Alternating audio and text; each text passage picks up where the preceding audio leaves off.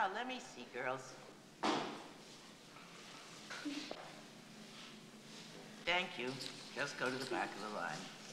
Now, Louis and Tarantino. You are certifiable. What is this, some sort of smart-ass joke? You're taking cooking. I want to learn how to cook. Yeah, right. You have a burning desire to learn how to make apple brown Betty.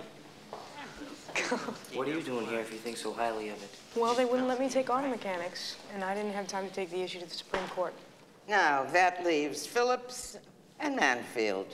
Please, would you take the last booth?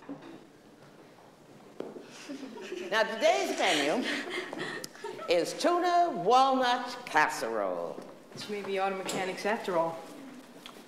Take your four-cup measuring bowl. You know, my father thinks it's the best thing since sliced bread. That's not what he told me. Can of tuna, Listen, don't worry. Don't let him scare you. You can do anything if he thinks you can play music.